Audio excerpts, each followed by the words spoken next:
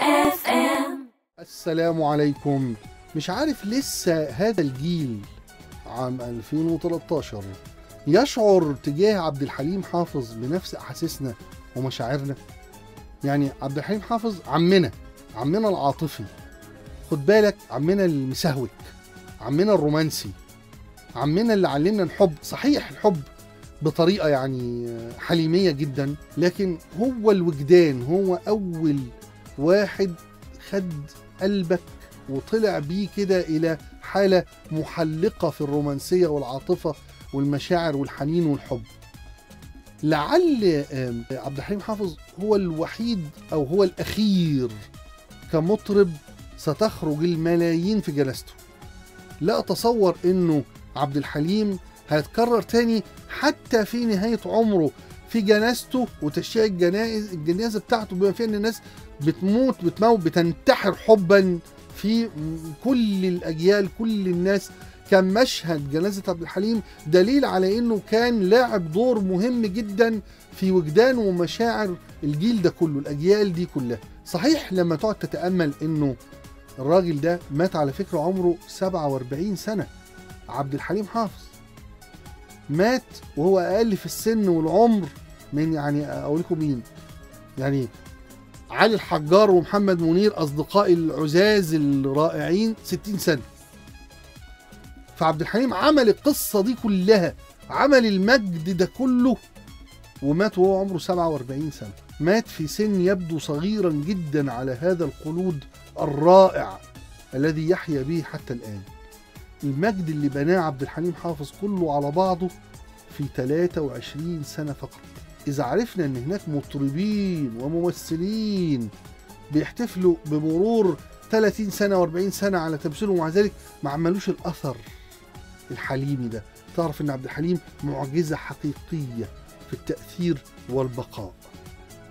لكن السؤال هل الأجيال بتستحمل تمثيله مثلا في أبي فوق الشجرة؟ خبر اسود كان وحش قوي في فوق الشجرة. أساسا كان عمره 40 سنة وقايم بدور طالب في كلية الهندسة. صعب قوي وهو المرض كمان يعني خلى ملامحه وشكله يبقى أكبر من سنه. فيعني هل لسه في ناس مستحملة الباروكة والشعر بتاعه اللي اللي كان مكوي ده كده في ال... في أغاني السبعينات؟ وأم الوردة اللي كانت وراه كده في الديكور بتاع حفلات السبعينات. يا ساتر كان حاجة فظيعة. وال... والسلسلة اللي على سيد لا لا لا لا عم عبد الحليم عم عبد الحليم تزودتها قوي. لكن أكتر حاجة بقى بتربطني بعبد الحليم حافظ لما بتيجي ذكرى وفاته يعني كل سنة لما تهل وتطل كل عام بتفكرني بأول قرار منع برنامج لي حكمانة اتمنع لي برامج كتير بس ده أول برنامج إذاعي يتم إيقافه لي قصرا وغصبا ومصادره كنت يومها في أولى إعدادي.